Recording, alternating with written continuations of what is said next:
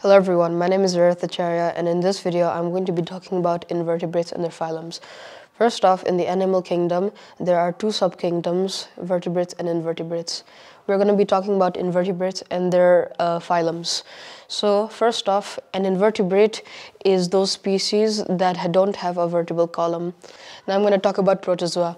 Protozoa are the primitive animals of invertebrates. They are single cellular celled and uh, an example of pro a protozoan is an amoeba. Next, in porifera, uh, they have uh, numerous pores in their body and unlike protozoa, they are multicellular. An example of porifera is Sycon. Coelenterata uh, is the species that have a hollow body.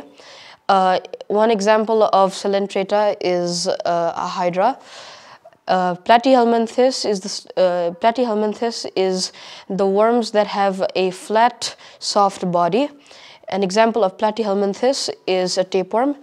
Uh, in Aschelminthes, uh, the, they have a cylindrical and unsegmented body. In this one, we have um, a roundworm. And in Annelida, we have um, those uh, worms that have a cylindrical, cylindrical and segmented body. And in this one, we have a round uh, earthworm.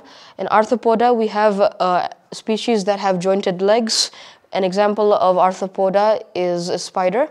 In mollusca, we have the species that have a hard shell out their body to protect themselves.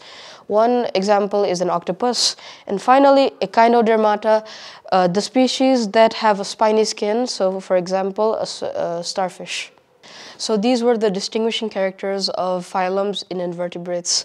With that being said, I hope you enjoyed this video and I th and thought it was informative. Thank you. Bye.